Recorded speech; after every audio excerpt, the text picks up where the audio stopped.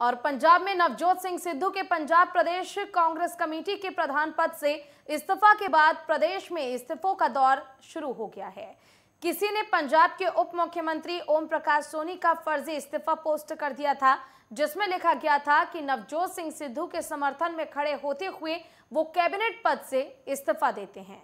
लेकिन ओपी सोनी ने अपने फेसबुक पर पोस्ट करके इस लेटर का खंडन किया है और कहा है कि गलत अफवाह फैलाने वालों पर कड़ी कार्रवाई की जाएगी।